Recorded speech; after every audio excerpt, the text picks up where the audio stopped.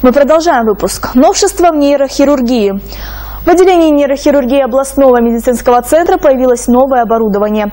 Опухоль мозга, нарушение центральной нервной системы и другие заболевания отныне смогут лечить и в угольной столице. Сейчас карагандинские медики под чутким руководством российских коллег обучаются работе на новейших аппаратах. Необходимость новых технологий для обследования и лечения таких тяжелых болезней, как опухоль мозга и нарушение центральной нервной системы, врачи отмечают единогласно. Доставленные аппараты из Германии позволят сделать прорыв в развитии нейрохирургии области. Сегодняшний мастер-класс позволит лечить больных, находящихся в критическом состоянии внутричерепного давления, говорит Ербол Нургожин. Само проведение мониторинга э, дает возможность нашим докторам выбирать точный момент в лечении вот этих больных, которые находятся в коме. И это немаловажно. Раньше, если все ориентировалось на клинику, на показатели какие-то дополнительные, вспомогательные.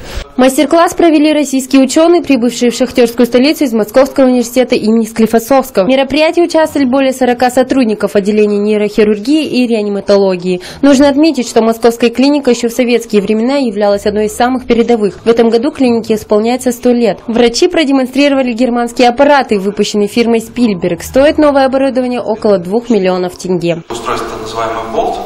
Сейчас чуть позже покажу. Они вкручиваются в кость черепа и позволяют надежно фиксировать э, датчик.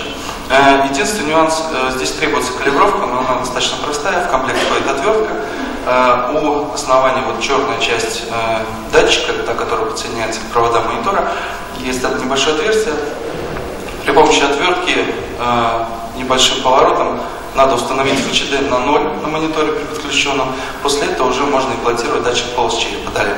В первой части врачи изучили модель монитора, во второй части медики смогли наглядно увидеть процесс работы нового аппарата. Аида Ибраева, Лжас Габасов, Евгений Афанасьев, Первый Караганинский.